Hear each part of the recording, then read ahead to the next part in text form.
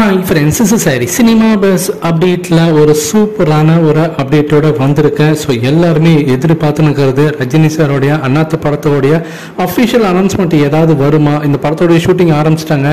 ஆனால் அந்த பட பூஜை போட்டதுக்கான எந்த விதமான ஒரு அறிகுறியுமே இல்லை. வெறும் ஷூட்டிங் மட்டும்தான் அவங்க டேரெக்டாக ஆரம்பிச்சாங்களா? இல்லை பட பூஜை ஏதாவது போட்டிருக்காங்களா? அதை பற்றி ஏன் இது வரைக்கும் சன் பிக்சர்ஸ் வந்து வாயை திறக்க மாட்டாங்க அப்படின்னு சொல்லிட்டு ஒரு பக்கமே குற்றச்சாட்டு வச்சுருந்தா இருக்காங்க. என்னதான் வந்து அந்த ஃபர்ஸ்ட் போஸ்ட் எல்லாருமே என்ஜாய் பண்ணாலும் இந்த ஒரு குற்றச்சாட்டு இருக்குது அஃபிஷியலாக நீங்கள் எதுவுமே சொல்லாமல் நீங்கள் டேரெக்டாக ஷூட்டிங் போகலாம் எப்படி?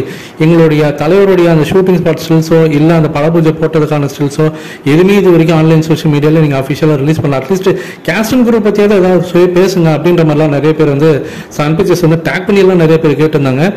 இந்த நிலையில தான் இப்போ சன் பிக்சர்ஸ் பார்த்தீங்கன்னா அஃபிஷியலாக இந்த படத்தோடைய கேஸ்ட் அண்ட் குரூப் பற்றினா ஒரு டீட்டெயிலான ஒரு வீடியோவே ரிலீஸ் பண்ணியிருக்காங்கன்னு சொல்லணும்.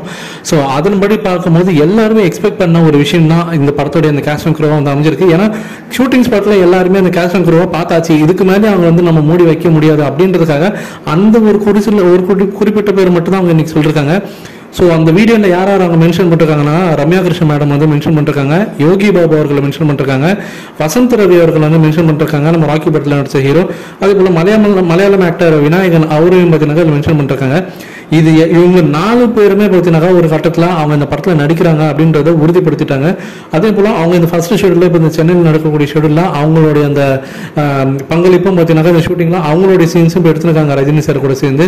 ஸோ இதுக்கு மேலே இது வந்து மூடி வைக்க முடியாது அப்படின்ற ஒரே காரணத்துக்காக தான் இப்போ சன் பிக்சர்ஸ் இவங்களோட பேர் மட்டும் இந்த நாலு பேரோட பேர் மட்டும் ரிவீல் பண்ணிருக்காங்களா? இல்லை அடுத்தடுத்து வரக்கூடிய நாட்கள் எல்லாமே பார்த்தீங்கன்னாக்கா அடுத்தடுத்து இந்த படத்தில் யாரெல்லாம் நடிக்க போகிறாங்க ஏன்னா இந்த ஃபீமேல் லீட்லாம் யார் என்னன்றது இது வரைக்கும் பெரிய குழப்பம் இருந்துகிட்டே இருக்குது ஸோ அதெல்லாம் கிளாரிஃபை பண்ணுற மாதிரி ஒரு அப்டேட் வருமா அப்படின்னு சொல்லிட்டு நம்ம வெயிட் பண்ணி தான் பார்க்கணும். ஸோ ஃபேன்ஸ் நீங்கள் கீழே கமெண்ட் பண்ணுங்கள் ரொம்ப நல்லா எதிர்பார்த்துருந்த அந்த கேஸ்ட் ஆஃப் ஜெயிலர் படத்துடைய அந்த கேஸ்ட் பார்த்தின டீட்டெயில்ஸ் எல்லாமே இப்போ வந்துருச்சு.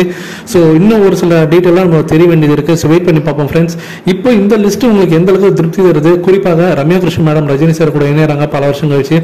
அடுத்தது யோகி பாபு அவர்கள் பார்த்தீங்கன்னாக்கா இப்போ தர்பார் படத்துக்கு அப்புறமேட்டா அவரும் இணையறாரு. ஸோ எந்த அளவுக்கு இந்த கேஸ்ட் வந்து ஒரு ப்ராமிசிங்காக இருக்குது அப்படின்றத கேள்வி சொல்லுங்கள் ஃப்ரெண்ட்ஸ்